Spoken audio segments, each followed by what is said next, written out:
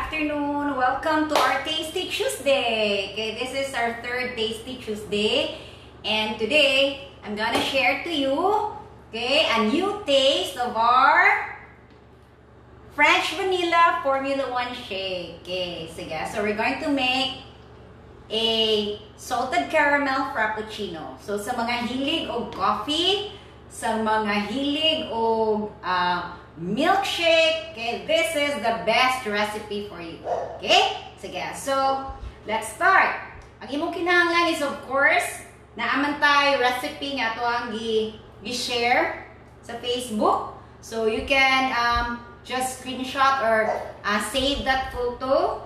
Okay, so ang atong i-prepare, syempre, mas nindot if you're going to um, mix uh, shake, kung naa siya mga additional ingredients, better if um, imo ang i-prepare na daan para nakalatad na siya tanan. Okay? Sige. So, uh, let's start.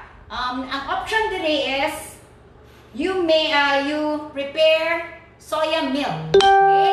But depende kung sa milk nga imuhang available. Like sa ako right now, we have a low-fat milk available. You can also use almond milk if you want. So, ang ibutang is only 1 ha 125 ml um, milk or half cup. Okay, half cup lang na siya. So, this is our blender.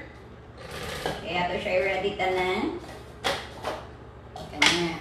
Okay, so let's add milk. So, I'm sure daghan kayo excited ninyo to know kung sa uni. And I'm just so grateful nga gi-share ni siya sa um, Balanced Nutrition Marketing Committee headed by, of course, our number one distributor in the Philippines, 30K, Miss Arlene Balange. Okay? So, grateful kay ta that they're uh, coming up with this um, flavor para pwede natin ma-enjoy and we can have it our, uh, in our own uh, homes. Okay? And ang naka-nice for those uh, Fit Club members, pag mag-open na, we will serve this. Okay? We will have this available at our Fit Club, Anteas Place Fit Club and Lifestyle Center.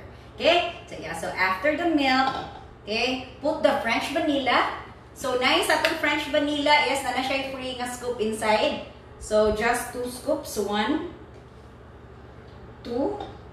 Okay? So, inaana siya kadali i-prepare. So, kani, ang nakanindot sa ato ang vanilla, it has already 9 grams of um, protein. Okay? And it has kompleto na nga uh, a lot of nutrients inside Okay, so nutrient dense, so guaranteed ka, when you take this, very, very healthy siya.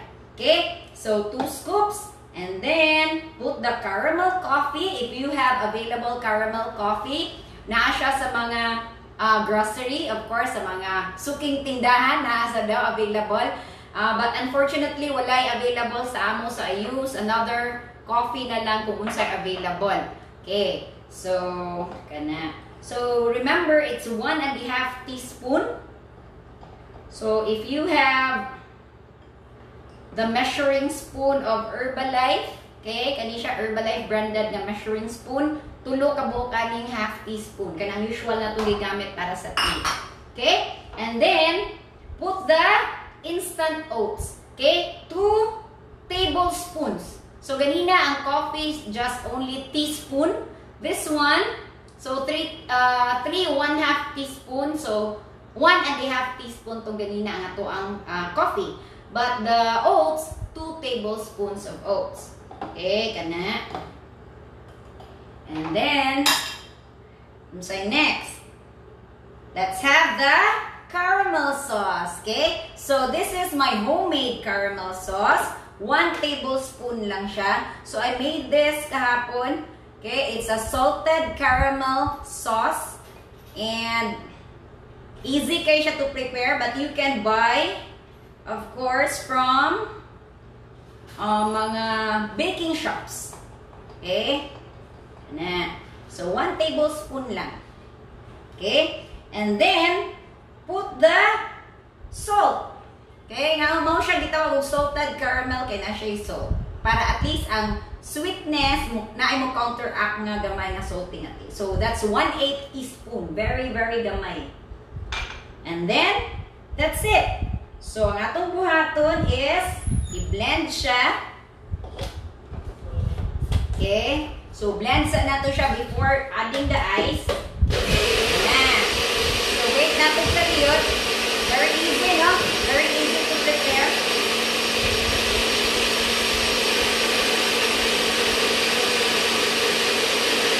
Okay? And then,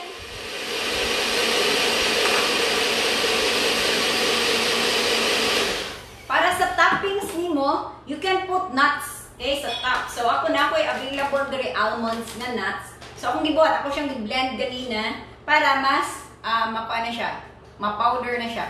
Nya, medyo um, chunky nga nuts kay para naa siya texture on top. Okay? So kana. And then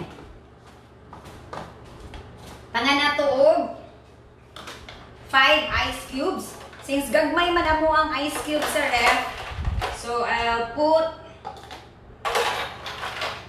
compared to ice cubes available sa grocery, dagko man siya. So I put 8 ice cubes kay gagmay kay amo ang butang uh, buhatan ng ice cubes. And then i-blend again. Okay?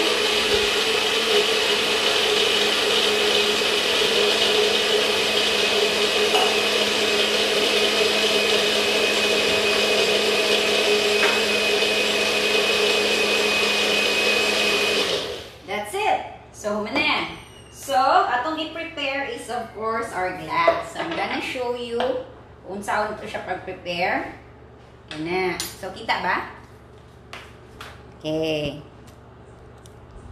Eng, eng, eng. Kana. So, atong glass. And then, para naa siya um, arte-arte sa kilid. Okay? Butangan na to siya gamay caramel sauce. And imo lang siyang i-drip. Tagak-tagak sa kilid. Okay. Yan na. And, sa namin nahitabo, ato dayong iabo ang ato ang gimix, atong gi-blend.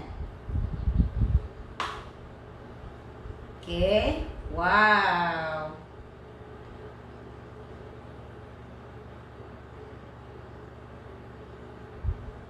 Kana. And then, put the nuts on top. Okay.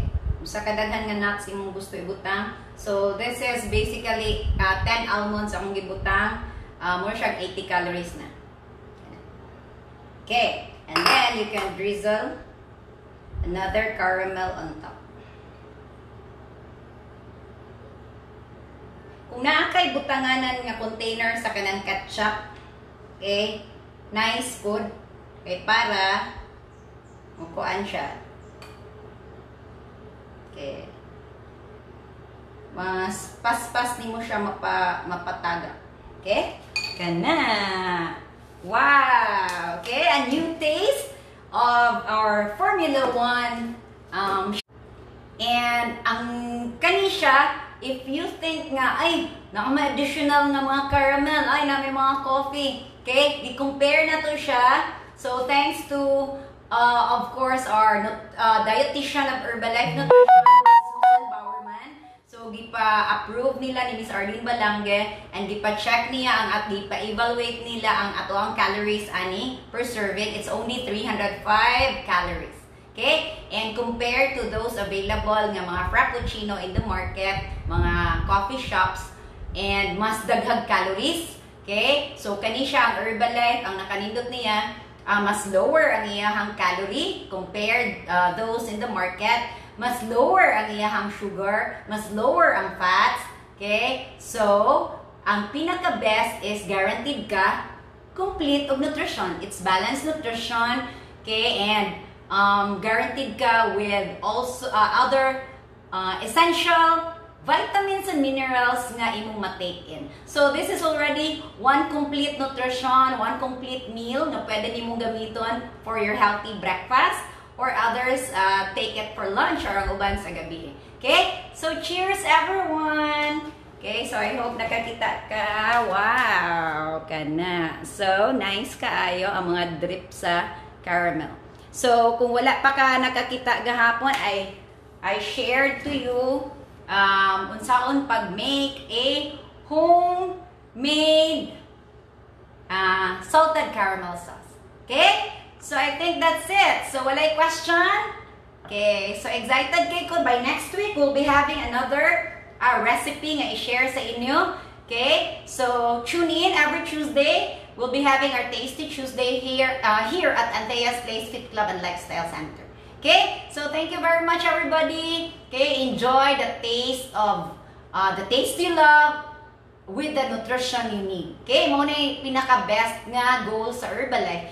Uh, you love the taste but yet you are given the proper nutrition that your body needs on a daily basis to stay fit, to stay healthy. Okay? So, enjoy everyone. Okay? Cheers to new taste of Okay? Salted caramel, frappuccino, balanced nutrition, Herbalife shake.